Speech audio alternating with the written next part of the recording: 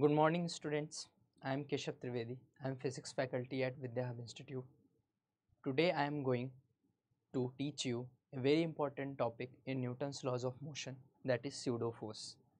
बेटा pseudo force एक बहुत ही इंपॉर्टेंट टॉपिक है न्यूटन्स लॉज ऑफ़ मोशन का और स्यूडो फोर्स के मदद से हमारे काफ़ी सारे सवाल जो है बहुत इजी तरीके से इजीली बहुत बन जाते हैं ठीक है जिस क्वेश्चन में लंबे लंबे सॉल्यूशंस की ज़रूरत पड़ सकती थी, वो सारे क्वेश्चन ऑलमोस्ट ओरली हमसे सॉल्व हो जाएँगे स्यूडो फोर्स के मदद से। तो इसीलिए इसको one of the most important concept in Newton's laws of motion consider किया जाता है, ठीक है? सबसे पहले तो हम समझते स्यूडो फोर्स होता क्या है, ठीक है?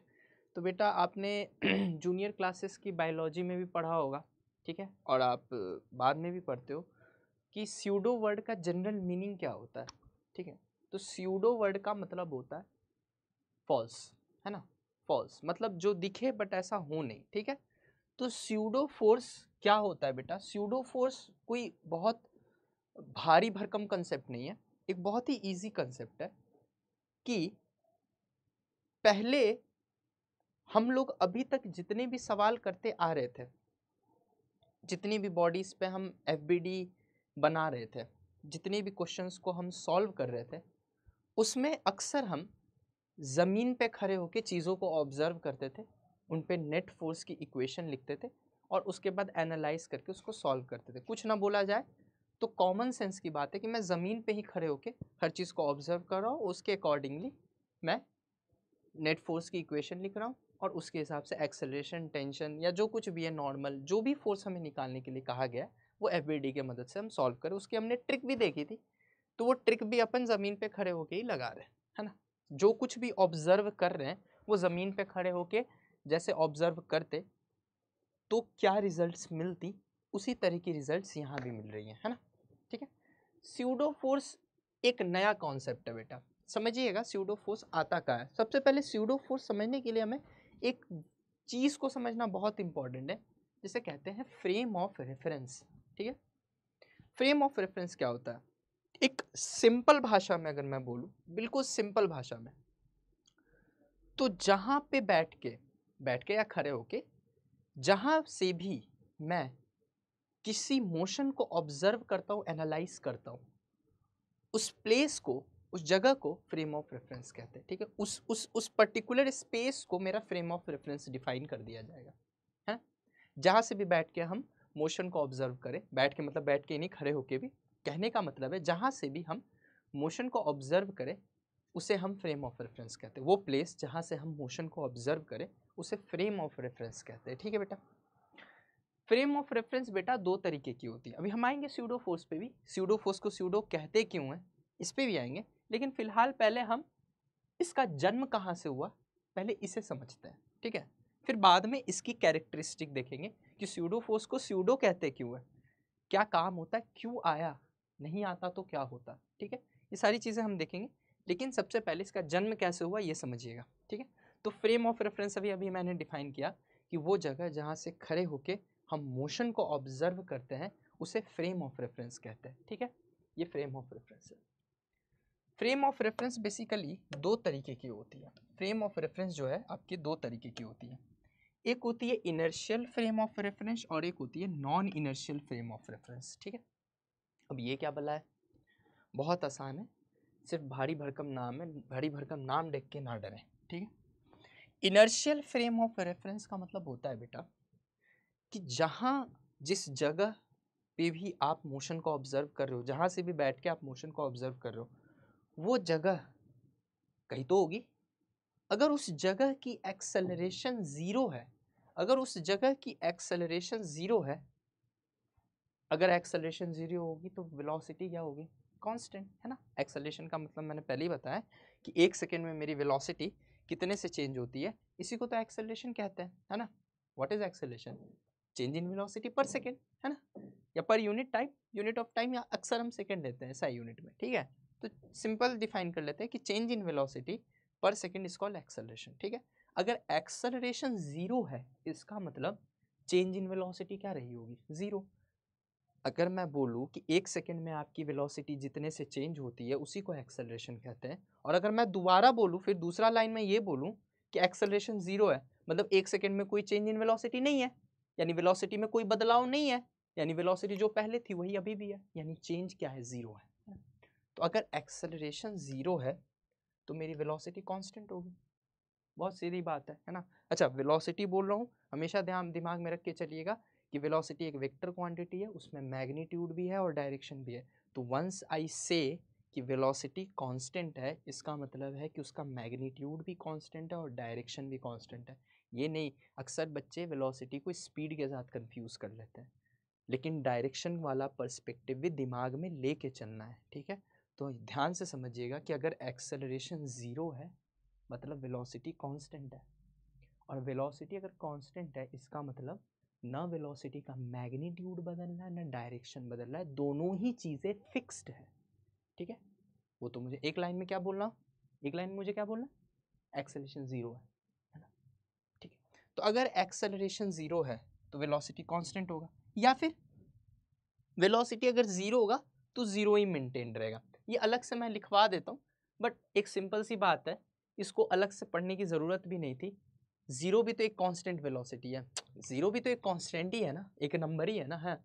तो सिंपल सी बात है, आप fair enough it it would be fair enough कि आप सिर्फ़ इतना याद रखें कि वेलोसिटी कांस्टेंट होती है अगर एक्सेलरेशन ज़ीरो होती है तो। अगर वो रुका हुआ है तो रुका रहेगा, और अगर चल रहा है तो जिस भी स्पीड से चल रहा होगा, उसी स्पीड से चलता रहेगा, और जिस भी डायरेक्शन में जा रहा है, उसी डायरेक्शन में जाता रहेगा। ना डायरेक्शन में कोई चेंज आएगा, ना स्पीड में कोई चेंज आएगा, ऐसे आप याद रख सकते हैं, ठीक है?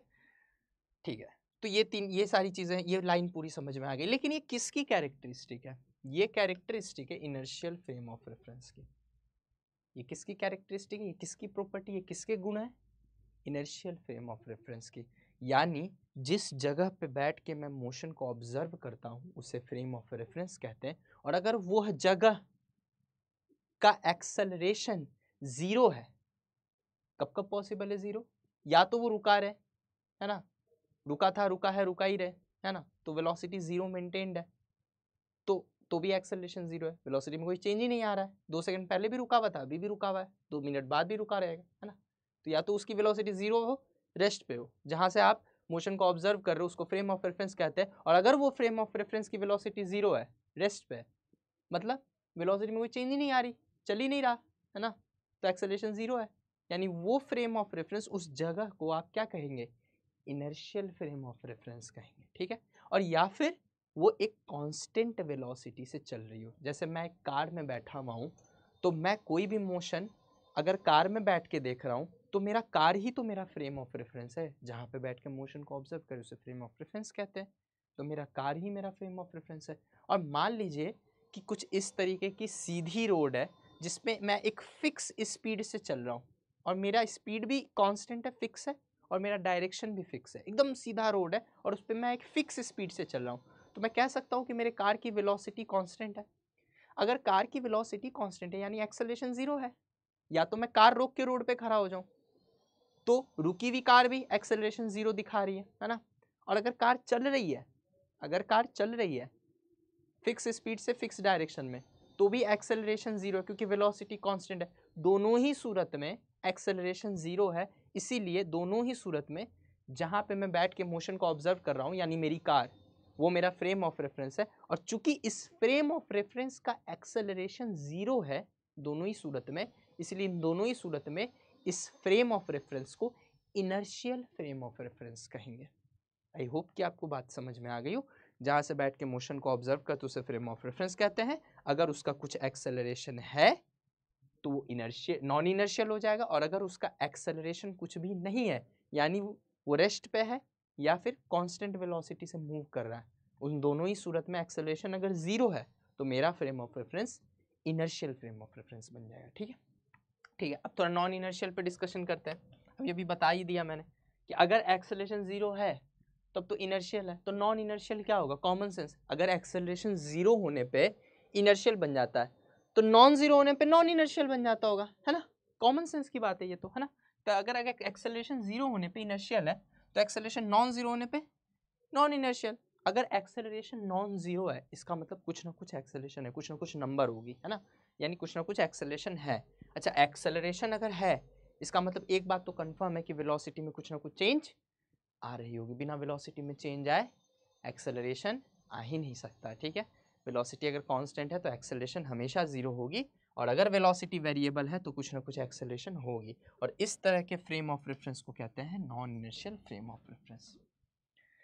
ऐसा ऑब्ज़र्व किया गया बेटा कि इनर्शियल फ्रेम ऑफ़ रेफरेंस में न्यूटन के तीनों लॉ बहुत प्रॉपरली वैलिड है। लेकिन जैसे ही हम non inertial frame of reference में जाके एनालिसिस करते हैं तो न्यूटन्स लॉ में थोड़ी बहुत एरर आने लग गई थी एम्बिग्विटी आने लगी थी। जो मैं देख रहा था, जो मैं देख पा रहा था non inertial frame of reference में बैठ के और उस ऑब्जर्वेशन के हिसाब से जब मैं इक्वेशन लिखता था तो मेरा इक्वेशन न्यूटन्स लॉ को सेटिस्फाई नहीं कर रहा था। ये काम इनर्शियल फ्रेम ऑफ़ रेफरेंस में नहीं है। तुम्हारे दिमाग में भी एक डाउट आ गया होगा कि सर आपने पूरा टॉपिक पढ़ा दिया आपने टेंशन, नॉर्मल, एक्सेलरेशन सब निकालना सिखा दिया। आपने तो कहीं नहीं बोला कि न्यूटन लॉ कहीं इनवैलिड है। न्यूटन लॉ मान के ही तो हम सारी बातों को लिख रहे थे, सारी इक्वेशंस लिख रहे थे तो ही तो आंसर आ रहा था। बेटा, मैंने आपको क्लास की शुरुआत में ही बोला कि अभी तक हमने जितनी एनालिसिस की है, सब ज़मीन पे खड़े होके की है। मतलब ऐसे हम सोच रहे थे चीज़ों को, जैसे हम ज़मीन पे खड़े और ज़मीन क्या है? ज़मीन चल रहा है क्या? रुका हुआ है। दो मिनट पहले भी रुका हुआ था, अभी भी रुका हुआ है, पाँच मिनट बाद भी रुका रहेगा। यानी उसकी वेलोसिटी ज़ीरो जो है वो फिक्स है है ना? रेस्ट पे है, ठीक है? और अगर वो रेस्ट पे है तो उसकी एक्सेलरेशन क्या होगी? ज़ीरो क्योंकि दो मिनट पहले भी नहीं चल रहा था, अभी भी नहीं चल रहा है। तो चेंज इन वेलोसिटी तो आ नहीं रहा है। पहले भी ज़ीरो था, अभी भी ज़ीरो है, बाद में भी ज़ीरो ही रहेगा। तो एक्सेलरेशन जब जब एक्सेलरेशन ज़ीरो है तो वो किसमें लाई करता है बेटा? जब आप ज़मीन पे खड़े हो तो आपका फ्रेम ऑफ़ रेफरेंस ग्राउंड हुआ। और वो ग्राउंड किस टाइप का फ्रेम ऑफ़ रेफरेंस है इनर्शियल या नॉन इनर्शियल एक्सेलेशन ज़ीरो है। इसका मतलब ये इनर्शियल फ्रेम ऑफ़ रेफरेंस है। और इनर्शियल फ्रेम ऑफ़ रेफरेंस में तो मैंने पहले ही बोला कि इनर्शियल फ्रेम ऑफ़ रेफरेंस में अगर बैठ के आप सॉल्व कर रहे हो तो आपको किसी तरह का कोई भी डाउट नहीं आएगा। न्यूटन्स लॉ बहुत प्यार से वैलिड है। कहीं किसी तरह का कोई इशू है ही नहीं। बहुत आराम से वैलिड है और बहुत प्यार से वैलिड है। बिल्कुल एक परसेंट दिमाग नहीं लगाना, एक परसेंट भी नहीं। क्यों? क्योंकि इनर्शियल फ्रेम ऑफ़ रेफरेंस में बैठ के हम पहले ही कर चुके हैं और इनर्शियल फ्रेम ऑफ़ रेफरेंस में न्यूटन्स लॉ को कुछ भी नहीं होता, बहुत हेल्दी तरीके से न्यूटन्स लॉ लगते हैं और बहुत अच्छे से सेटिस्फाई होता है। हमने आंसर भी निकाले सारे, है ना? तो इनर्शियल फ्रेम ऑफ़ रेफरेंस के लिए ये बातें मैं नहीं कर रहा हूँ। ये स्यूडो फोर्स का जो कॉन्सेप्ट है, ये कहाँ आता है? ये आता है non inertial frame of reference में। इनर्शियल में तो स्यूडो फोर्स का नाम लेना भी पाप है। Non inertial frame of reference में ऐसा क्या हुआ? Non inertial frame of reference में न्यूटन्स की लॉ इनवैलिड होने लगी थी सेटिस्फाई नहीं हो पा रही थी।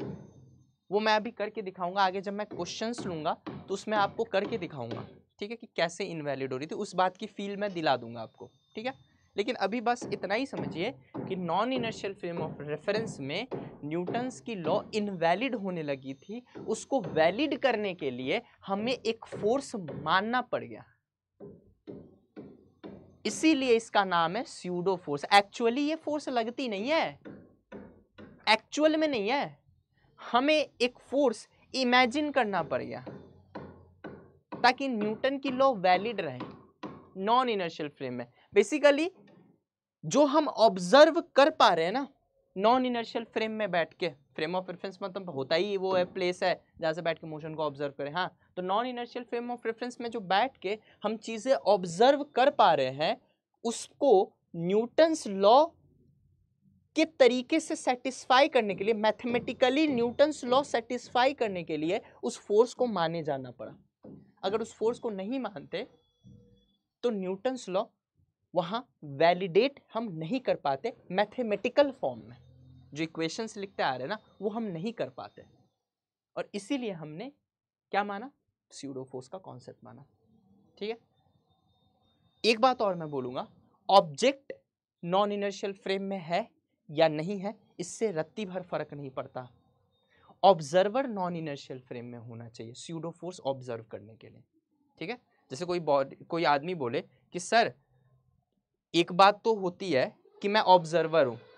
मैं जहाँ से बैठ के मोशन को ऑब्ज़र्व करूँ, उसे फ्रेम ऑफ़ रेफरेंस कहते हैं। अगर उसकी एक्सेलरेशन ज़ीरो है तो वो इनर्शियल फ्रेम ऑफ़ रेफरेंस है और अगर उसकी एक्सेलरेशन नॉन ज़ीरो है तो वो non inertial frame of reference है। ये तो ऑब्जर्वर की बात हो गई सर आपने कहा non inertial frame of reference से अगर मोशन को ऑब्ज़र्व कर रहे हो तो तुम्हें स्यूडो फोर्स दिखेगा। For sure non inertial frame of reference से तुम्हें स्यूडो फोर्स दिखेगा। क्या ऑब्जेक्ट को भी non inertial frame of reference में रहना ज़रूरी है? बिल्कुल नहीं। एक परसेंट भी नहीं। ऐसा कोई ज़रूरी नहीं है। Object non inertial frame of reference में रह भी सकता है, नहीं भी रह सकता है, इससे कोई फ़र्क नहीं पड़ेगा, लेकिन observer non inertial frame of reference में होना चाहिए। ठीक? यानी ऑब्जर्वर जहाँ से मोशन को ऑब्ज़र्व कर रहा है, वो जो प्लेस है, उसकी कुछ ना कुछ एक्सेलरेशन होनी चाहिए। एक्सेलरेशन ज़ीरो नहीं होनी चाहिए। यानी वेलोसिटी कांस्टेंट नहीं होनी चाहिए। वेलोसिटी में लगातार चेंज आ जाना चाहिए। चेंज पॉजिटिव हो या नेगेटिव उससे मतलब नहीं है। बस चेंज होना चाहिए। बदला, बदलते रहना चाहिए वेलोसिटी कुछ ना कुछ एक्सेलरेशन होना चाहिए। तो मुझे सीडो फोर्स दिख जाएगा और ऑब्जर्वर को दिखेगा जो non initial frame of reference में बैठ के चीज़ों को ऑब्ज़र्व कर रहा है। क्यों कर रहा है? क्यों सीडो फोर्स मान ही क्यों रहा है? नहीं मानता ना तो मैथमेटिकली जो इक्वेशन में न्यूटन्स लॉ लगा लगा के आप सॉल्व कर रहे हो, वो आप लगा नहीं पाओगे, ठीक है? अब कुछ एग्जाम्पल्स देखेंगे। सबसे पहले एक छोटा सा एग्ज़ाम्पल यहाँ देखिए। ध्यान से देखिएगा। अगर मान लीजिए एक प्लैंक है, एक प्लैंक है, गाड़ी है या जो मर्ज़ी आप मान सकते हैं, मैं यहाँ पे एक प्लैंक मान ले तो मान लो एक प्लैंक है। उस प्लैंक का कुछ ना कुछ इधर की तरफ़ एक्सलेशन मान लो यहाँ पे दो व्हील्स में मान लेता हूँ, समझना आसान हो जाए। मान लो ये एक तरह के ट्रैक्टर है या प्लैंक है, कुछ भी मान लो जिसमें चक्के लगे हुए हैं, ठीक है? मान लो इस प्लैंक का एक्सलेशन राइट डायरेक्शन में ए है तो जो ऑब्जेक्ट है, उसके ऊपर जो ऑब्जर्वर है, वो लेफ़्ट डायरेक्शन में एक फोर्स देखेगा, जिसको स्यूडो फोर्स कहते हैं, ठीक है? यहाँ पे कंफ्यूज मत होइएगा ऑब्जेक्ट यहाँ पे भी हो सकता था ऑब्जेक्ट कहीं बाहर भी हो सकता था, उससे कोई फ़र्क नहीं है। लेकिन ऑब्जर्वर को non inertial frame of reference में होना चाहिए। Non inertial frame of reference का मतलब क्या होता है? फ्रेम ऑफ़ रेफरेंस का मतलब क्या होता है? जहाँ से बैठ के मोशन को ऑब्ज़र्व करें, ये बंदा कहाँ बैठा हुआ है? ज़मीन पे है क्या? नहीं प्लैंक पे। ये जहाँ बैठा हुआ है, क्या उस चीज़ की कोई एक्सेलरेशन है या नहीं है? हाँ सर, है। प्लैंक की एक्सेलरेशन ए है। यानी ऑब्जर्वर जहाँ बैठा हुआ है, उसकी एक्सेलरेशन है कुछ। यानी ऑब्जर्वर एक एक्सेलरेटेड फ्रेम में है, यानी observer non inertial frame of reference में है। और अगर नॉन इनर्शियल फ्रेम में है ऑब्जर्वर तो उसे एक स्यूडो फोर्स दिखेगी ही दिखेगी। अब फोर्स है तो दो चीज़ें होनी तो लाजमी है, एक मैग्नीट्यूड एक डायरेक्शन तो आपके दिमाग में अब आ रहा होगा कि सर स्यूडो फोर्स दिख जाती है, ये तो मैं मान गया। लेकिन किस डायरेक्शन में दिखती है और कितनी दिखती है? ठीक है? ध्यान से समझिएगा। जो ऑब्जर्वर है, वो non inertial frame of reference में है, इसलिए उसे ऑब्जेक्ट पे स्यूडो फोर्स दिखेगा। और स्यूडो फोर्स हमेशा फ्रेम ऑफ़ रेफरेंस का जो एक्सेलरेशन है, उसके ओपोजिट डायरेक्शन में दिखती है। मतलब एक बात तो तय है कि अगर तुम स्यूडो फोर्स ऑब्ज़र्व कर रहे हो मतलब तुम जहाँ से बैठ के ऑब्ज़र्व कर रहे होगे, वो एक एक्सेलरेटेड फ्रेम होगा, वो एक नॉन इनर्शियल फ्रेम होगा। उसकी कुछ ना कुछ एक्सेलेशन होगी, तभी तो नॉन इनर्शियल कह रहे हैं, तभी तो स्यूडो फोर्स ऑब्ज़र्व करें वरना नहीं करते। अब जो भी उसकी एक्सेलेशन होगी, वो एक्सेलेशन की ठीक उल्टी दिशा में स्यूडो फोर्स लगा देना, किसी भी ऑब्जेक्ट पे, जिस ऑब्जेक्ट पे भी तुम देखना चाह रहे हो, ठीक है? जिस ऑब्जेक्ट पे भी एनालिसिस कर रहे हो उस ऑब्जेक्ट पे जिधर फ्रेम का एक्सलेशन है, उसकी उल्टी दिशा में स्यूडो फोर्स लगती है। और कितनी लगती है? जो फ्रेम का एक्सलेशन है एक्सेलेशन का मैग्नीट्यूड ले लेना और इसके मास से जिस ऑब्जेक्ट पे स्यूडो फोर्स देख रहे हो, उसके मास से मल्टीप्लाई कर देना F equal to M A force कोई भी हो मास इंटू एक्सेलरेशन होता है ना? अगर मास वेरिएबल नहीं है तो फोर्स कोई भी हो मास इंटू एक्सेलरेशन होता है, ठीक है? तो देखो ना ए एक्सेलरेशन जो है, कौन सा एक्सेलरेशन है? जो फ्रेम का एक्सेलरेशन था। और मास किसका है? जिस बॉडी पे तुम्हें स्यूडो फोर्स देखना है, उसका मास है। तो फोर्स क्या हो गया? स्यूडो फोर्स एम ए यानी mass of the body on which you are trying to observe pseudo force and A is the acceleration of frame of reference and when you multiply become F equal to M A that is your pseudo force ठीक है? और ये frame of reference के हमेशा उल्टे दिशा में दिखती है, और उसका मैग्नीट्यूड एम ए होता है। M is the mass of the body on which you are observing pseudo force and A is the acceleration of frame in which from where you are observing the motion ठीक है? अब कुछ और question करते हैं। ठीक है? देखिएगा ध्यान से। कुछ एलिवेटर के प्रॉब्लम्स हैं। इन प्रॉब्लम्स को ध्यान से समझिएगा।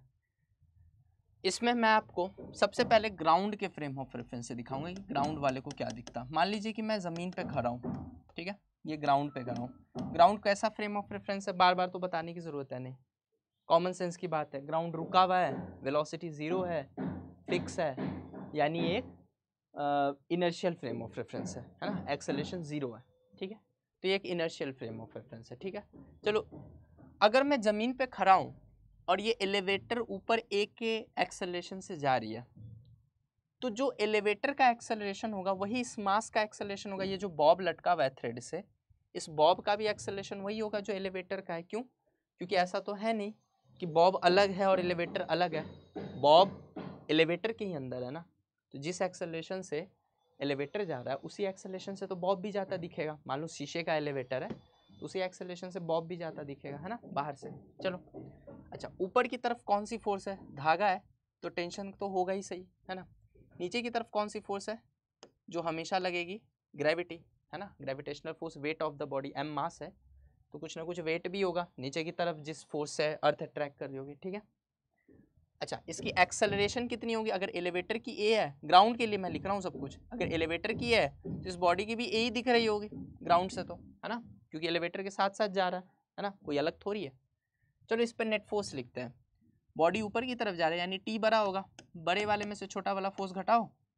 नेट फोर्स आ गया and this is equal to mass into acceleration यही तो है न्यूटन स्लॉ ठीक है? अगर टी को मैं वहाँ लिखूँ तो ये आ गया T is equal to M G plus M A अगर मैं यहाँ से एम कॉमन ले लूँ तो ये बन गया जी प्लस ए ठीक है? ध्यान से देखिएगा। ये एक तरीका है, बढ़िया तरीका है। ये ग्राउंड ऑब्जर्वर के लिए। अगर ज़मीन पे खड़ा होकर मैं देखूँगा तो मुझे ऐसे लिखना पड़ेगा। ये हम पहले भी कर चुके हैं, ठीक है? इसमें कोई नई बात नहीं है।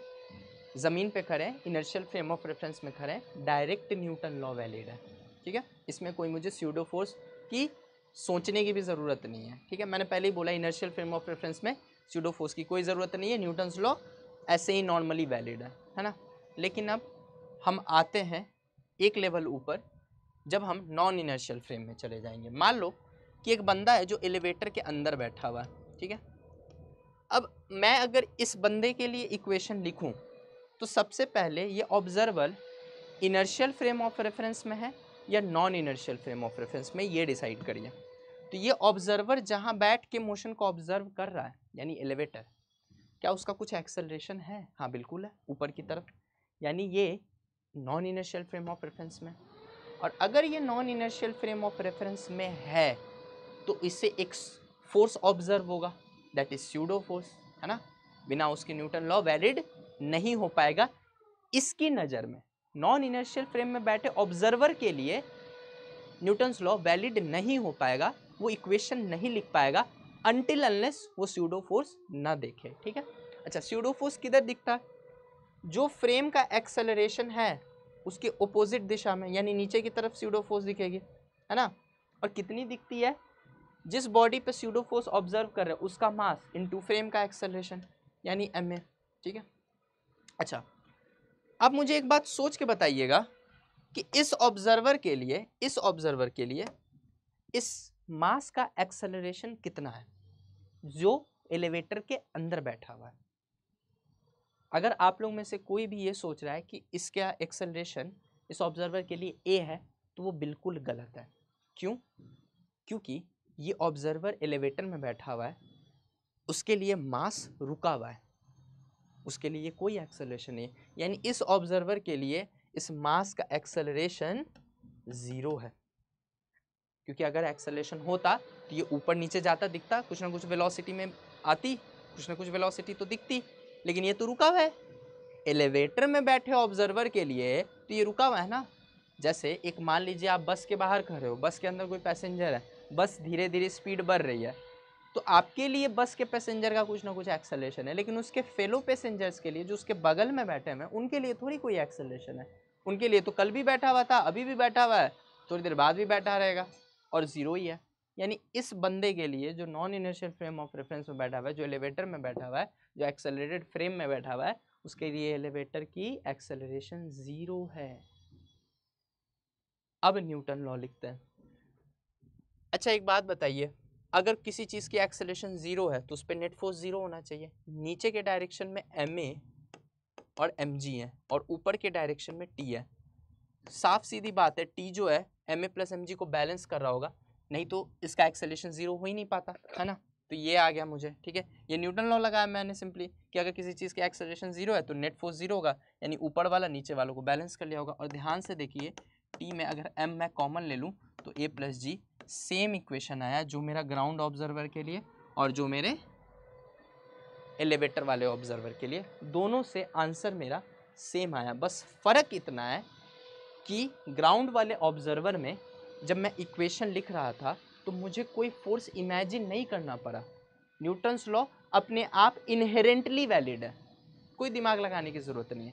लेकिन जैसे ही मैं एलिवेटर के अंदर चला गया non inertial frame of reference में चला गया, मुझे एक फोर्स इमेजिन करना पड़ गया। और अगर मैं ये फोर्स इमेजिन नहीं करता तो मैं न्यूटन्स लॉ को वैलिडेट नहीं कर पाता, क्योंकि फिर टी इक्वल टू एम आता और T equal to M G गलत आंसर है T equal to M A plus M G सही आंसर है तो न्यूटन लॉ को वैलिड करने के लिए नॉन इनर्शियल फ्रेम में मुझे एक फोर्स इमेजिन करना पड़ा है, जिसको मैंने राउंड लगा रखा है एम में और उसी के बाद मेरा न्यूटन लॉ वैलिड हो पाया। और इसी फोर्स को, इस माने हुए फोर्स को स्यूडो फोर्स कहते हैं। बस यही कॉन्सेप्ट था। बहुत आसानी से आपको ये चीज़ फील आ गई होगी कि स्यूडो फोर्स क्यों इमेजिन करते ठीक है? अब हम क्या करेंगे? अब हम बार बार ये काम नहीं करेंगे। बार बार ग्राउंड के लिए बार बार इसके लिए क्यों करें? मुझे एक बात समझ में आ गया कि अगर मैं स्यूडो फोर्स का सहारा लूँ तो क्वेश्चन बहुत जल्दी और बहुत शॉर्ट में बन जाता है। इसमें मुझे इतना सोचना पड़ा इक्वेशन लिखना पड़ा। इतना दिमाग लगाने की कोई ज़रूरत नहीं पड़ेगी। मैं इक्वेशन को बहुत शॉर्ट में निपटा सकता हूँ, ठीक है? तो अब मैं हर काम नॉन इनर्शियल फ्रेम से करूँगा, देखते रहिएगा। मान लीजिए यहाँ पे भी मैं एलिवेटर पे आगे बैठ गया, ठीक है? तो सिंपल बात है मैं एक एक्सेलरेटेड फ्रेम में हूँ मतलब जहाँ से बैठ के मोशन को ऑब्ज़र्व कर रहा हूँ, उसका कुछ ना कुछ एक्सेलरेशन है। तो अगर उसका कुछ ना कुछ एक्सेलरेशन है तो एक बात पक्का कि मुझे स्यूडोफोर्स ऑब्ज़र्व होगा। स्यूडोफोर्स किधर दिखेगा? जिधर एक्सेलरेशन है फ्रेम का, उसके ओपोजिट दिशा में। और कितना होगा? जिस बॉडी पे देख रहे हो, उसका mass into acceleration of the frame है ना? ऊपर की दिशा में। अच्छा एक फोर्स तो हर जगह होगी। कौन सी भाई? धरती माता वाली फोर्स एम वो तो नीचे लगी रही है, ठीक है? अच्छा इस ऑब्जर्वर के लिए ये जो पेंडुलम है या जो बॉब है सॉरी ये जो बॉब है या ये जो पत्थर है, जो भी कह लो, ये रेस्ट पे है। अगर रेस्ट पे है, यानी ऊपर वाले और नीचे वाले फोर्स सारे बैलेंस हो रहे होंगे, यहाँ पे एक टेंशन भी होगा जो धागे में होगा, है ना? तो अब ऊपर वाले, यानी T plus M A is equal to नीचे वाला, यानी एम जी तो यहाँ पे आपको दिख रहा होगा टी की वैल्यू एम जी माइनस है सीधा, ठीक? ये स्यूडो फोर्स के कॉन्सेप्ट से क्वेश्चंस बहुत आसान हो जाते हैं। अगला क्वेश्चन मैं यहाँ पे आऊँगा। यहाँ पे देखिएगा। वेइंग मशीन है। वेइंग मशीन क्या मेज़र करता है? सबसे पहले तो ये समझिए। कुछ लोगों को लगता है कि वेइंग मशीन हमारा मास मेज़र करता है, वो तो बिल्कुल ही गलत है। नाम ही ये वेइंग मशीन जो वेट मेज़र करे। और वेट क्या है बेटा? वेट वो फोर्स है जिससे अर्थ तुम्हें अट्रैक्ट करता है, यानी एम जी मान लो एम तुम्हारा मास है तो M G is the force which earth is attracting you towards itself and that is your weight okay it's a type of force weight is a force ठीक है? तो weighing machine measures wait कुछ लोगों को ये लगता है। ना वेइंग मशीन मास तो मेज़र करना बिल्कुल सोचना ही गलत है। वेट भी मेज़र नहीं करता है। वेइंग मशीन एक्चुअली जो चीज़ मेज़र करती है बेटा, वो है तुम्हारा नॉर्मल रिएक्शन नॉर्मल रिएक्शन क्या होता है? मैंने पहले ही पढ़ा रखा है कि अगर हम किसी सरफेस पे खड़े हैं या कोई भी दो सरफेस कांटेक्ट में तो इन दोनों सरफेस का जो कॉमन सरफेस है, उस कॉमन सरफेस के 90 डिग्री पे परपेंडिकुलरली जो फोर्स लग रहा है ठीक है, जो धक्का लग रहा है एक दूसरे पे, उसी को नॉर्मल रिएक्शन कहते हैं। नाम ही है नॉर्मल नॉर्मल होता है परपेंडिकुलर तो जो सरफेसेस इन कॉन्टैक्ट के परपेंडिकुलर दिशा में जो फोर्स लग रहा हो, उस फोर्स को नॉर्मल रिएक्शन कहते हैं। ठीक है तो मैं अगर खड़ा हूँ ऐसे करके वेइंग मशीन पे तो मेरा कुछ वेट है नीचे की तरफ़। अब ऑब्वियस ही बात है वेइंग मशीन मेरे ऊपर कुछ फोर्स लगा रहा होगा ताकि मैं रुका रहूँ, बना रहूँ वहीं पे, वरना मैं धस जाता अंदर, है ना, अपने वेट की वजह से, ठीक है? तो वो जो फोर्स वेइंग मशीन मुझ पर लगा रहा है, या मैं वेइंग मशीन पे लगा रहा हूँ सरफेसेस इन कांटेक्ट होने की वजह से उस फोर्स को नॉर्मल फोर्स कहते हैं, ठीक है? तो वो नॉर्मल फोर्स मेज़र करता है। अब ध्यान से समझिएगा, ठीक है? क्योंकि सिंपल सी बात है वेइंग मशीन कोई लिविंग थिंग तो है नहीं कि वो तुमको देख के ये सोचेगा, ये मोटा है तो इसका वेट ज़्यादा बताऊँ और ये पतला है तो इसका वेट कम बताऊँ। वो कोई लिविंग थिंग तो है नहीं सिंपल बात है। वेइंग मशीन वही फोर्स बताएगा ना, जो वो खुद फील करेगा, जो उस पर खुद लगेगा। और वेइंग मशीन पे जो तुम फोर्स लगा रहे हो, वो वेट है क्या? नहीं। वेट तो वो फोर्स है जिससे अर्थ अट्रैक्ट कर रही है तुम्हें, उसे वेइंग मशीन से कोई मतलब भी नहीं है। वेइंग मशीन पे तुम क्या फोर्स लगा रहे हो, वो डिपेंड करता है नॉर्मल पे। जो फोर्स तुम वेइंग मशीन पे लगाते हो, वो फोर्स नॉर्मल फोर्स होता है। और जो वेइंग मशीन तुम पे लगा रही है, वो भी नॉर्मल फोर्स होता है। और वेट जो है, वो तो अर्थ तुम पे लगा रही है, उसमें वेइंग मशीन कहाँ से आ गया? है ना? समझे? तो जो तुम दोनों के बीच में, यानी वेइंग मशीन का सरफेस और तुम्हारे पैर का सरफेस के बीच में जो लगने वाला फोर्स है, वो फोर्स जितना ज़्यादा होगा वेइंग मशीन की रीडिंग उतनी ज़्यादा होगी। उसे थोड़ी पता है कि हाथी खड़ा है या एक बच्चा खड़ा है, उसे तो जितना फोर्स लगाओगे, उतना वो वेट बता देगा उस हिसाब से। सिंपल बात है, ठीक है? तुम तो खड़े भी नहीं हो, तुम अपने हाथ से जाके दबा दो तो भी कुछ ना कुछ वेट दिखा देगा। वो थोड़ी लिविंग थिंग है कि बोलेगा कि नहीं इस पर तो कोई खड़ा ही नहीं तो मैं वेट नहीं दिखाऊँगा। उससे कोई मतलब नहीं है, तुम्हारा वेट क्या है? अर्थ तुम्हें किस फोर्स से अट्रैक्ट करा, उससे कोई मतलब नहीं है। तुम उस पर क्या फोर्स लगा रहे हो, उसे उससे मतलब है, और उसी हिसाब से वो वेट बता देता है। अब होता क्या है जनरली कि मान लो तुम ज़मीन पे रखे हुए हो वेइंग मशीन को। मान लो, ये तुम्हारा वेइंग मशीन ग्राउंड पे ज़मीन पे, ठीक है? अब तुम जब ज़मीन पे खड़े हो बेटा, मान लो यहाँ पे तुम खड़े हो, ठीक है? तो नीचे की तरफ़ वेट होगी तुम्हारी एम अब तुम इस एम की वजह से नीचे चले जाते हैं, लेकिन वेइंग मशीन ऊपर की तरफ़ एक फोर्स लगा रहा है नॉर्मल और चूँकि न तुम ऊपर की तरफ़ जा रहे हो, ना नीचे की तरफ़ जा रहे हो मतलब नेट फोर्स ज़ीरो है तो नॉर्मल जो है एमजी के बराबर है। इसीलिए अब ये जो मेज़र करेगा, वो करता नॉर्मली है, वो फोर्स जो इसके सरफेस पे लग रहा है, लेकिन वो इस बार एमजी के बराबर है चूँकि, इसलिए तुम्हारा वेट बता देता है। लेकिन एन हर बार एम के बराबर हो, ऐसा बिल्कुल ज़रूरी नहीं है। ज़मीन पे जब रखा हुआ और उस पर जब खड़े हो तुम तो इस केस में एन हमेशा एम के बराबर होगा। इस चक्कर में वेइंग मशीन पे उतना ही फोर्स लग रहा होता है जितना तुम्हारा वेट होता है। और इस चक्कर में वेइंग मशीन वही मेजर कर देता है जो तुम्हारा वेट है। लेकिन ऐसा हर बार हो ज़रूरी नहीं है। इस केस में क्या होगा? ज़रा ध्यान से देखिएगा। आपको खुद ब खुद समझ में आ जाएँगी चीज़ें। ठीक है? ध्यान से देखिएगा। यहाँ पे हम देखेंगे। ये बंदा है, इसके ऊपर नीचे की दिशा में एमजी लग रही होगी, ठीक है जी?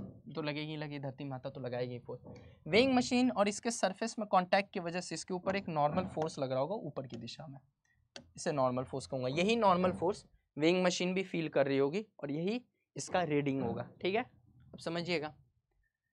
अगर मैं यहाँ पे जाके बैठ के देखूँ तो मेरे लिए तो ये बंदा रुका हुआ है, ठीक है? बट मैं जहाँ से बैठ के देख रहा हूँ, वो एक एक्सेलरेटेड फ्रेम ऑफ़ रेफरेंस है।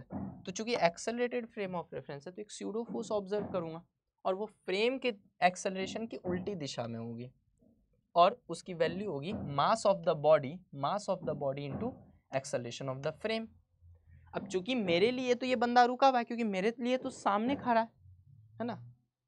ठीक है, मेरे लिए तो रुका हुआ है, यानी ऊपर वाले सारे नीचे वाले फोर्स के बराबर होंगे तो normal force is equal to M A plus M G ध्यान से देखिएगा अगर आप तो आपको एक चीज़ समझ में आएगा कि यहाँ पे टेंशन था या नॉर्मल है बस इससे ज़्यादा अंतर कुछ भी नहीं है बस नाम बदल गया फोर्स का है ना? तो जो नॉर्मल फोर्स है वो M A plus M G आपको साफ़ साफ़ दिख रहा होगा कि इस केस में नॉर्मल एम जी से कुछ ज़्यादा है क्योंकि एम जी में कुछ ना कुछ जुड़ी रहा है ना। M G plus M A है तो एम जी में कुछ जुड़ी रहा है। मतलब इस केस में जो वेट बंदे का आएगा वेइंग मशीन पे वो उसके एक्चुअल वेट से ज़्यादा होगा, क्योंकि जो वेइंग मशीन पे फोर्स लग रहा है, वो वेट से कुछ ज़्यादा है। अब उसके पास आँख तो है नहीं वेइंग मशीन के पास, कि नहीं, यही आदमी था तो ज़मीन पे तो हल्का था, यहाँ भारी कैसे हो गया? ये एलिवेटर की वजह से हो रहा है। इतना दिमाग लिविंग थिंग तो है नहीं ना बेटा? वो तो वही रीड करता है जो उस पर फोर्स लगता है। तो इस केस में उस पर फोर्स ज़्यादा लग रहा है, इसीलिए उसका जो मेजर्ड वेट होगा, वो भी ज़्यादा होगा। ठीक है? ठीक है, इस केस में आप देखिए। तो इस केस में बहुत आसान है। नीचे की तरफ़ क्या लग रहा है? नीचे की तरफ़ लग रहा है एम ऊपर की तरफ़ क्या लग रहा है? बहुत आसानी से एन ठीक है? और सीडोफोर्स किधर लगेगा? सीडोफोर्स ए नीचे की तरफ़ एक्सलेशन है फ्रेम का तो ऑब्वियसली बात है सीडोफोर्स ऊपर लगेगा और एम ए लगेगा, ठीक है? इस केस में फिर बंदा चूँकि यहाँ खड़ा है, इसके लिए तो रुका हुआ है है ना? आप ग्राउंड फ्रेम से भी जाके लिख सकते हैं। आप घर पे जाके ट्राई करिएगा आंसर सेम आएगा, ठीक है? लेकिन बेवजह लंबा होता अब चूँकि ये रुका हुआ है तो एन प्लस एम ए जो होगा, ऊपर वाला फोर्स इज़ इक्वल टू नीचे वाला फोर्स तो एन की वैल्यू हो जाएगी M G minus M A तो एम अगर कॉमन ले लोगे तो ये हो जाएगा जी माइनस ए सिंपल ठीक है?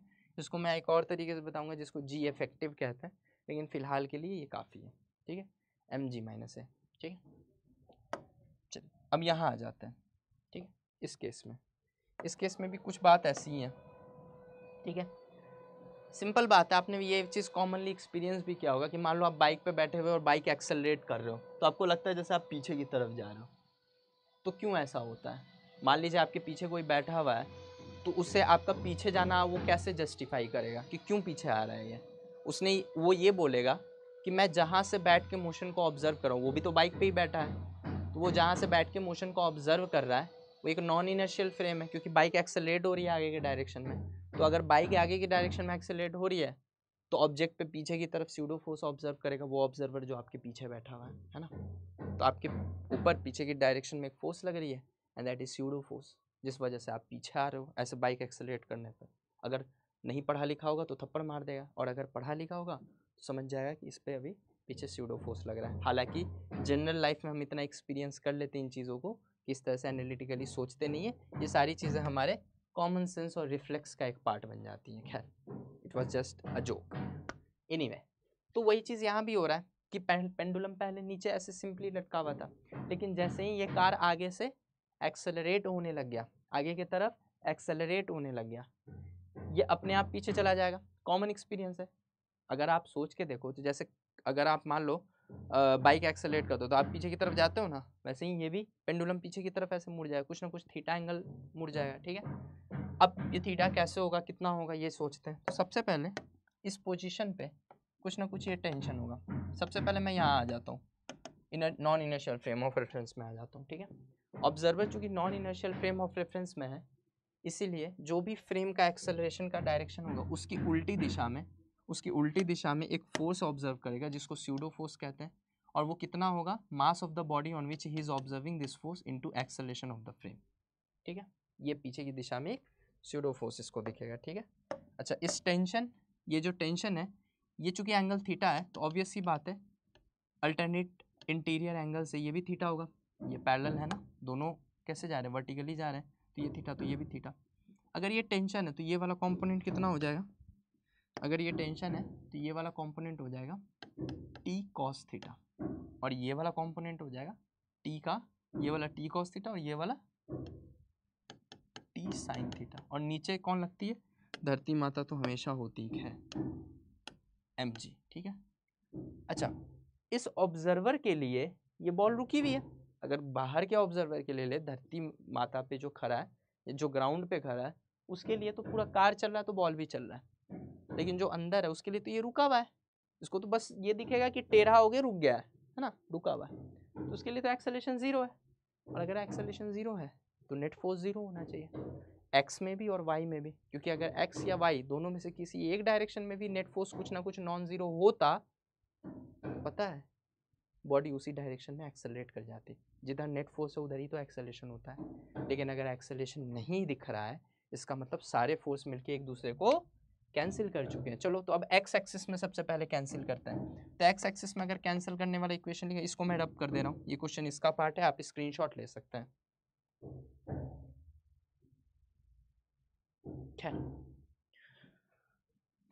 अगर मैं इसको रब कर दूँ तो अब इसके लिए लिखते हैं for x axis x axis में पहले इक्विलिब्रियम करते हैं। इक्विलिब्रियम मतलब नेट फोर्स ज़ीरो तो T sine theta is equal to m में दिख रहा होगा आपको, है ना? एक्स वाले बैलेंस कर लिए। ये वाला ये वाला इसको बैलेंस कर लिया। और अगर मैं वाई एक्सिस में लिखूँ वाई एक्सिस में लिखूँ तो ऊपर वाला नीचे वाले को बैलेंस कर लेगा। यानी T cos theta is equal to m g ठीक है? अगर ये इक्वेशन नंबर वन है इक्वेशन नंबर टू है तो मैं क्या करूँगा? कुछ नहीं, बहुत आसान है। ध्यान से देखिए। अगर मैं equation two by equation sorry, equation one by equation two कर दूँ, डिवाइडेड बाई इक्वेशन टू तो कंक्लूजन क्या आएगा? टी से टी कैंसिल हो जाएगा sine by cos tan theta. L H S by L H S and R H S by R H S कर रहा हूँ मैं, और एम एम कट जाएगा तो ए बाई जी हो जाएगा, ठीक है? तो यहाँ से आएगा a is equal to g tan theta ठीक है ये कुछ स्यूडो के बेसिक बेसिक प्रॉब्लम्स थे आई होप कि आपको स्यूडो का कॉन्सेप्ट समझ में आया हो। आप जाके और भी क्वेश्चंस ट्राई कर सकते हैं। कुछ अच्छे क्वेश्चंस हम नेक्स्ट क्लास में लेंगे और इसके साथ ही साथ हम नेक्स्ट टॉपिक स्टार्ट करेंगे। Thank you so much I hope you like the class